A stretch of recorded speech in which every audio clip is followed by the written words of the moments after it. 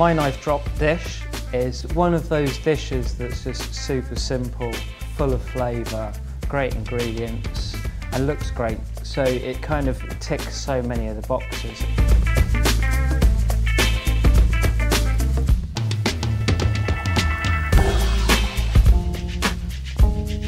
I'm Ian Swainson, I'm the head chef of Amarillo Restaurant down in Brighton. We wanted to create something that was, uh, that was fun, exciting, that showed off some interesting regional cooking techniques, generally European, but then there is other influences from further abroad. But basically, I've always worked with big flavour. I try not to mess around too much, and in essence, I try and keep it interesting, colourful and playful.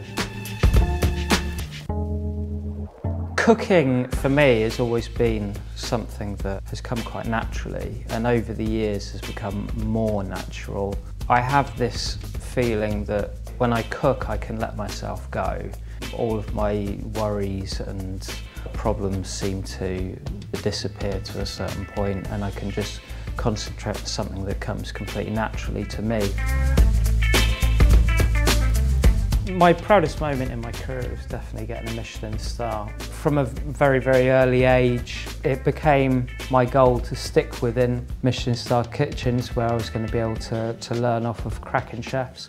Um, and then from there, you know, the idea of earning a Michelin star was so far beyond anything I ever thought I'd be able to achieve. It was a fantastic day. When we found out it was early in the morning, we still had uh, a busy service um, and then we finished and we partied really really hard.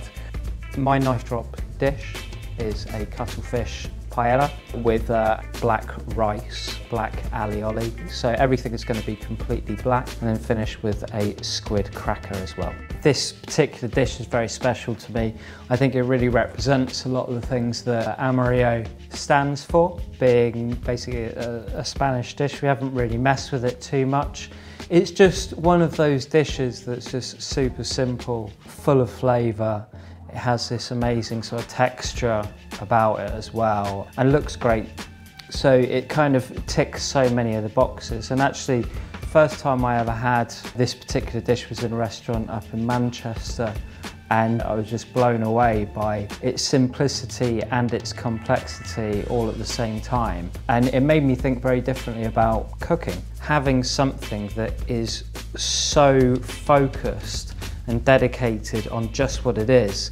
We've got squid that goes into rice, we're then adding the squid ink to it, which just brings this deep umami, this uh, amazing flavour profile, and looks fantastic with it being black as well and it just shows the complexity of what something so simple and traditional can be.